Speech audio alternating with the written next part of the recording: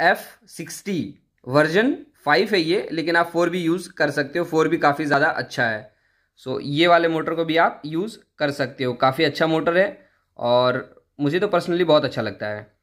सो so guys अभी जो आप लोगों ने देखा वो गलती बिल्कुल भी आप लोग मत करना ठीक है? बहुत सारे लोग हैं जो कंसल्ट नहीं करना चाहते हैं ठीक है? तो आप इतना महँगा ड्रोन बना रहे हो गाइज़ ठीक है? उ, उ, उस उन्होंने जो भी पार्ट्स लिया है ना सब कुछ पूछ करके लिया था हाईटेक एक्सवाइजेड कस्टमर सपोर्ट से।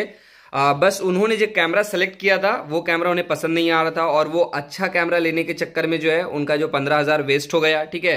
तो आप लोग जो है वो अगर इतना ज़्यादा पैसा खर्च कर रहे हो अपने ड्रोन में तो आप लोग कंसल्ट कर सकते हो मुझसे डायरेक्टली स्लॉट बुक करा करके ठीक है? और कंसल्ट कैसे करना है वो आप कस्टमर सपोर्ट से पूछ सकते हो ठीक है? जो भी कंसल्ट का छोटा मोटा चार्जेस लगता है, उस चार्जेस को आप बचाने के पीछे रहोगे तो गाइज़ आपका भारी नुकसान हो सकता है। सो बेस्ट रहेगा कि अगर आप एफपीवी ड्रोन बनाना चाह रहे हो या अदर ड्रोन बनाना चाह रहे हो तो आप इजिली कंसल्ट करो। कंसल्ट के बाद में जो भी पार्ट सेलेक्ट होता है, उस पार्ट्स को यूज़ करो ताकि आपका पार्ट्स में पैसा बर्बाद ना हो, क्योंकि पार्ट्स जो है वो काफ़ी ज़्यादा महँगा आता है।